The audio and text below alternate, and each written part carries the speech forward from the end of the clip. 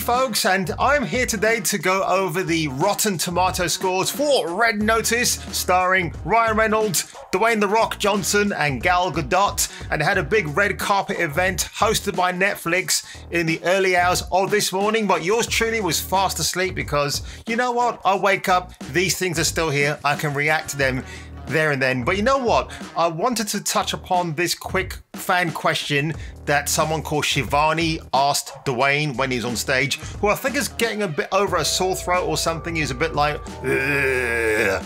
so without further ado, let me just, let me just uh, hear what he has to say, and then I'll give you my thoughts after.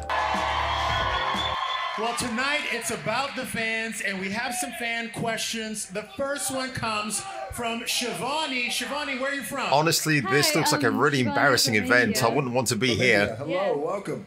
Thank you. She came What's from India, man. Wow. So I wanted to ask you, um, if you had to work with Ryan and Gal again, what genre would you choose to work with them? Oh, that's a great question. So if I had to work with Ryan Reynolds or uh, Gal Gadot uh, one more time, what genre of movies would I choose to work? Well, number one, I would do a sequel to Red Notice with them. Number one. Awesome. and when you guys see the movie, you'll understand. Um, and then what I would figure, you know, since I'm Black Adam Don't stop reminding us, dude. We know you are. and Ryan Reynolds, of course, is Deadpool. Yeah, Merc with the mouth. and Gal is the one and only Wonder Woman. So it feels like there's a way to maybe converge the universes, right? Between DC and Marvel. Yeah, do you know what I love about that? He's really pushing hard for Marvel and DC to actually get together and make a gigantic superhero movie.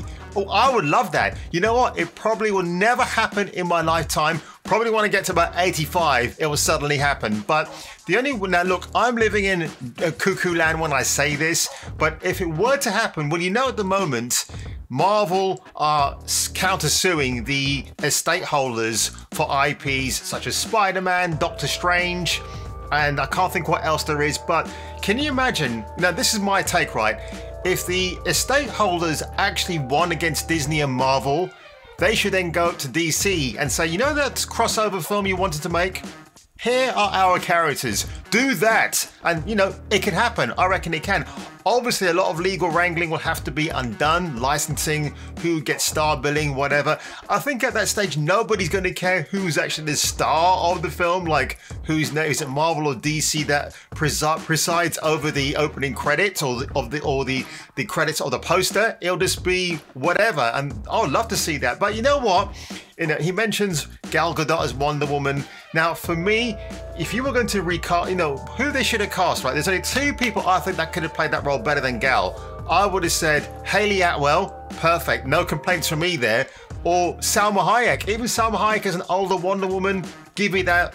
Give me those two ladies all day, every day, man, as Wonder Woman. And what I would do, I would get, like in Hayley Atwell's case, I would get her fighting somebody like Lobo, because we haven't seen someone like him before. He will be perfect because he's like, he's a pig, he's a sexist, and I just, that's the kind of thing to get Hayley Atwell's Wonder Woman really angry and riled up. That would be a fantastic on-screen battle. That would be awesome. Warner Brothers, DC, they won't try and ever do anything like that to really please the cinema goers at the moment. Everything at the moment in Hollywood is just Oh god, they're just get they're just sending out the wrong messages. I would love to see that version. Or somebody like a superpowered male that can just take on Wonder Woman and, and it's not a message about oh well love conquered the day. No, my muscles and my beauty conquer the day, not anything else. That's the message I want to see. So, you know, look, now the reason why I'm actually here today, folks, I wanted to go over to the Rotten Tomato scores for Red Notice. Like I said, it just had its premiere last night. And now the thing is, they haven't marketed this film very well in terms of where you can watch it because I've been seeing my reactions, you can, you know, react to this on the, you can watch it on the 12th of November, but it's actually being released tomorrow on the 5th. Now, unfortunately, cinemas around my way don't seem to be showing it, which is very, very odd. Like, Cineworld, what the hell are you guys doing?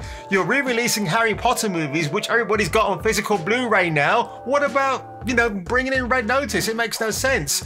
So if I really, really want to see this film, I'll probably have to go into town on Sunday or maybe tomorrow and check it out. So based on these five ratings uh, today, um, I'm going to start off with someone I think she's just awful. She calls herself Mama's Geeky. If you look at her channel, when she started out, she wasn't doing anything like geek reviews. She was actually being a mom at home. But I find her takes on a lot of things just very putrid. You know, she was even bawling and moaning the other day about why people so against the Eternals. What she's concerned about is is getting invites to these press events. That's what it is. So I will read hers out in the fairness of reading out. So Reynolds and Johnson have great comedic chemistry, but Gadot never really finds her footing. That said, this movie is a lot of fun thanks to the action and buddy comedy feel. Okay, now the one thing I might agree with her on this one is Gal Gadot because yes, she is an actress of limited abilities. Again, if you watch the Fast and Furious films where she plays, who does she play again? Oh my god, it's something uh, like is it Gabrielle? Giselle, Giselle, that's it. You know, she looks great, she does the action pretty good, but she's not convincing as that character. You needed somebody else to kind of fill that those boots. Ian Sandwell from The Digital Spy, the final product never quite lives up to that powerhouse trio. What should be a rollicking round the world adventure turns into a dull trudge. Oh, that's a shame. Okay. Uh, the film is a lifeless pistache of various blockbuster action movie styles from the past four decades. What's wrong with that? That's what we should have. That's what people are actually asking more of these days. We want to see that blockbuster kind of cheesy action feel again. I, for God's sake, want to see that again. You know, since the superhero genre just came onto the scene, it's kind of torpedoed everything that we used to love going to the cinema for. Uh, Danielle Solzman of Solzy at the Movies. Uh, it, Red Notice is a globe-trotting affair on par with Mission Impossible, James Bond, and Indiana Jones. Oh, okay, that's interesting. And the final one is Sean O'Connell from Cinema Blend. Now, out of all of these, I'll probably say Cinema Blend and maybe Digital Spy are really like the legit ones to pay attention to.